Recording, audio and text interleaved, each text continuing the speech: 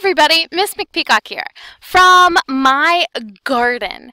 Okay, so now we're talking about the Columbian Exchange. I have a question for you. What would Italy be without the amazing, wonderful tomato? This is an heirloom tomato. It's one that I'm growing in my garden.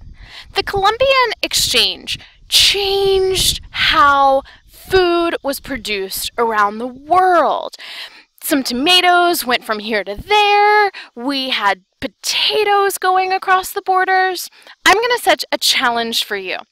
I want to know in the chat box below something that you might be growing in your garden, like my tomatoes, my heirloom tomatoes that or maybe something that you can find at your market some sort of a fresh food market that is a food exchanged globally during the columbian exchange.